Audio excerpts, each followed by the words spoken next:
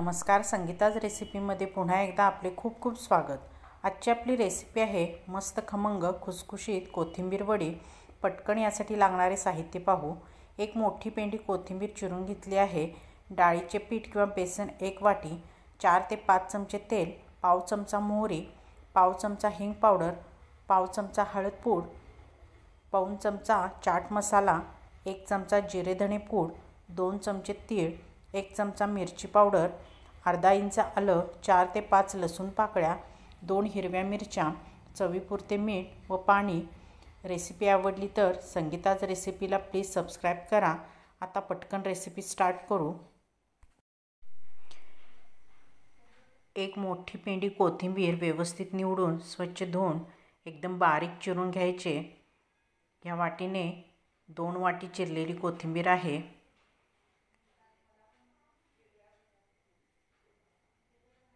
कढईमध्ये थोडंसं तेल घेतलं आहे. तेल गरम झाले की त्यामध्ये मोहरी टाकायची मोहरी चांगली तडतडत आहे. यामध्ये पाव चमचा तीळ घालायचे. पाव चमचा हिंग पावडर.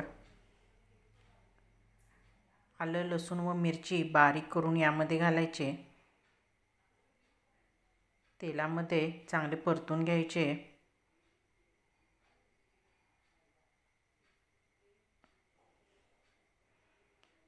आता यामध्ये बारीक चिरलेली कोथिंबीर घालायची. कोथिंबीर घातल्यानंतर तेलावर दोन ते तीन मिनिट परतून घ्यायची.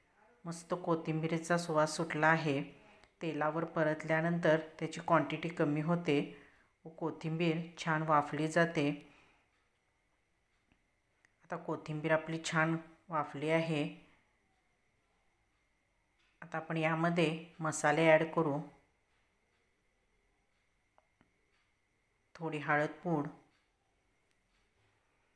लाल मिरची पावडर जिरे धणे पूड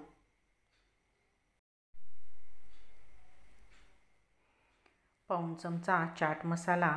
चाट मसाला नसेल तर अर्धा लिंबाचा रस घातला तरी चालेल. एक चमचा तीळ घालायचे. व चवीपुरते मीठ घालून मसाले चांगले यामध्ये मिसळून घ्यायचे. एक वाटी पाणी घालून याला व्यवस्थित मिसळून घ्यायचे. नंतर आपण हे मिश्रण तीन ते चार मिनटे शिजवून घेणार आहोत.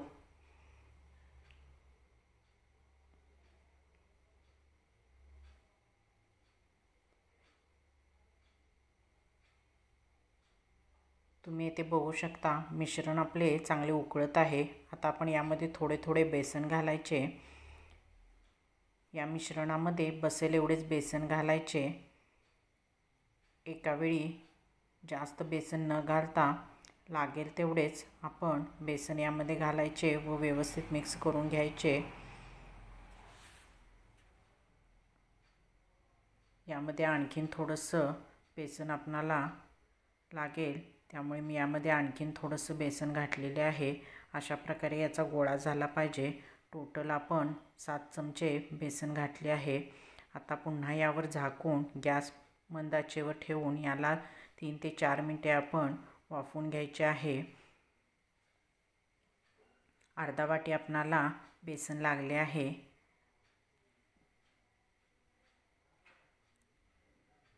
तीन ते चार मिनटानंतर तुम्ही ते बघू शकता. पीठ आपले छान वाफले आहे. वाफलेले पीठ तुपाने ग्रीस केलेल्या पोळपाटवर घेऊन थापून घ्यायचे. पोळपाटऐवजी ताटसुद्धा तुम्ही येथे वापरू शकता. मिश्रण खूप मोकळं करायचं नाही नाहीतर त्याच्या वड्या पडत नाहीत. आता आपण याला व्यवस्थित थापून घेतले आहे. वरून थोडंसं तीळ घालायचे व हाताने प्रेस करायचे म्हणजे तीळ पिठामध्ये चिटकून राहील. आता आपण याला पाच मिनिट सेट होण्यास ठेवू. थोडं कोमट असतानाच आपण हव्या त्या साईजमध्ये वड्या कट करून घ्यायच्या. अतिशय सोपी पद्धत आहे ही कोथिंबीर वड्या बनवण्याची. बाजारात भरपूर प्रमाणात कोथिंबीर आलेली आहे.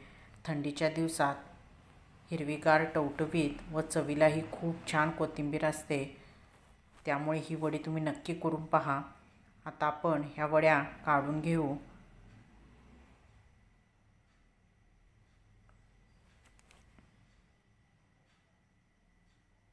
सहज ह्या वड्या निघतात. अशा प्रकारे आपण सर्व वड्या प्लेटमध्ये काढून घेऊ.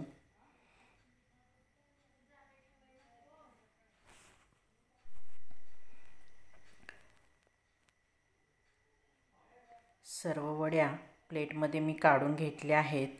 अशाच वड्यासुद्धा खाण्यास खूप छान लागतात.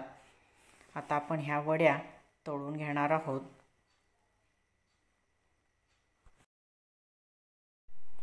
कढईमध्ये तेल गरम करण्यास ठेवले होते. तेल गरम झाले आहे. आता आपण यामध्ये वडी तळून घेऊ. तेल तापले की गॅस मिडियम फ्लेमवर ठेवायचा व वडी तळून घ्यायची. तीस सेकंदानंतर वडी आपण पलटी करायची व दोन्ही बाजूने छान सोनेरी रंगावर तळून घ्यायची.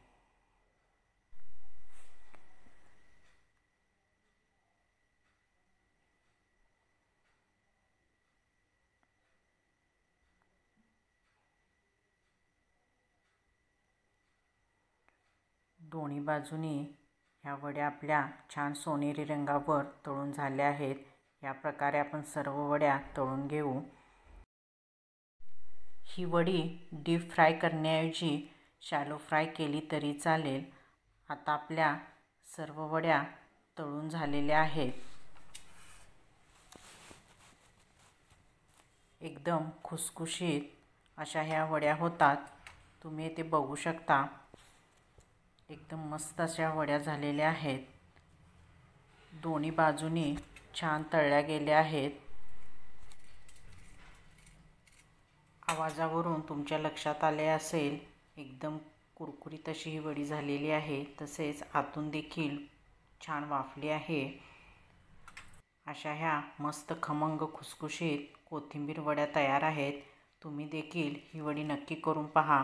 रेसिपी आवडली तर लाईक कमेंट व शेअर करा.